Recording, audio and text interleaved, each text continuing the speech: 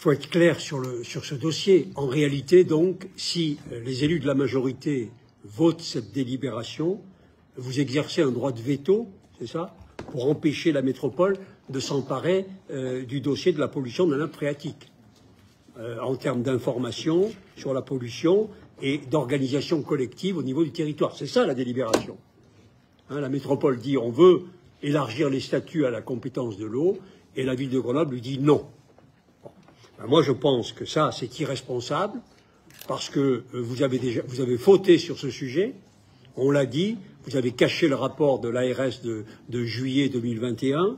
Euh, on a eu des déclarations, mais d'une incohérence totale. On a, on a entendu en juillet 21 M. Vincent Fristo expliquer que l'eau de la nappe allait être utile au rafraîchissement.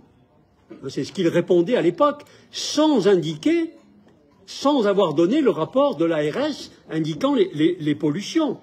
On a entendu euh, Mme euh, Olmos dire à un moment, on le sait depuis toujours que la pollution, ça remontait, euh, etc.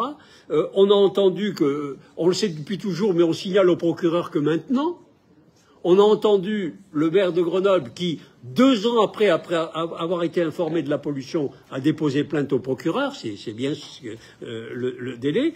Donc, on a, entendu Mme euh, Pantel dire les pollutions disparaissent par simple évacuation évaporation, pardon, et on lit euh, aujourd'hui encore que les pollutions ne disparaissent pas, elles ne pourront pas être traitées. Christophe Ferrari, le président de la métropole, s'est étonné qu'on ne l'ait pas informé, comme président de la métropole, en juillet 21 de, euh, du rapport de l'ARS.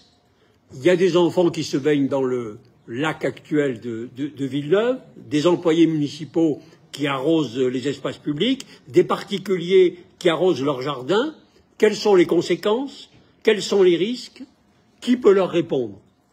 Qui? Personne, à ma connaissance, personne. On a quand même un vice-président de la métropole qui est dans votre majorité, vous êtes dans la même majorité que M. Euh, Pierre Véry, qui a déclaré Nous sommes informés, il ne s'est rien passé depuis deux ans, des milliers de personnes utilisent cette eau, ne rien faire serait criminel, dit dit M.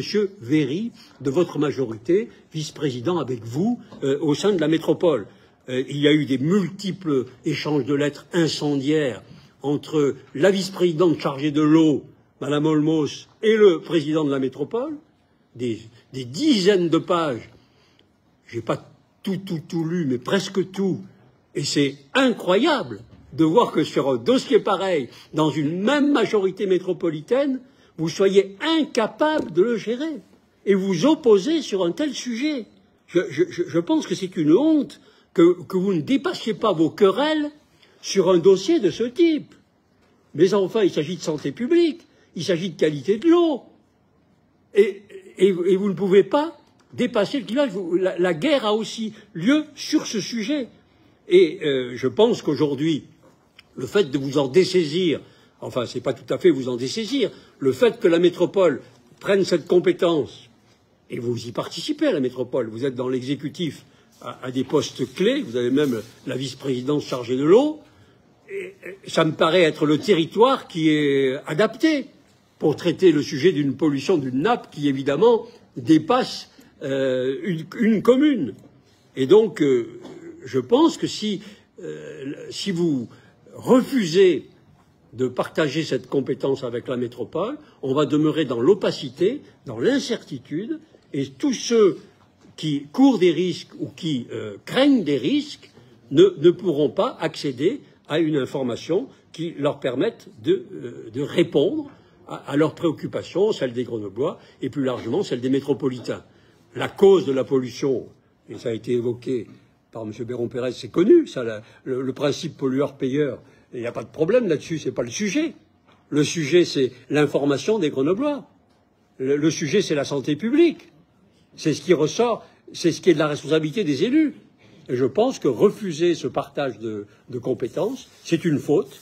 Et vous n'êtes pas, compte tenu de la façon dont vous avez géré le dossier jusque-là, je pense que vous auriez mieux fait de vouloir d'accepter de le partager avec la métropole plutôt que de le conserver dans ces conditions.